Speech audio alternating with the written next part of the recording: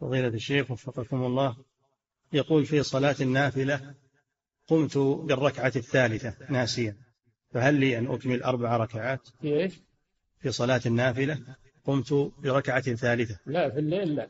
الليل تجلس يجب عليك الجلوس لأن صلاة الليل مثنى مثنى فلا تقم إلى ثالثة. وأما في النهار فلا بأس.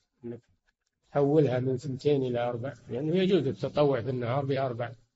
نعم بسلام واحد. نعم.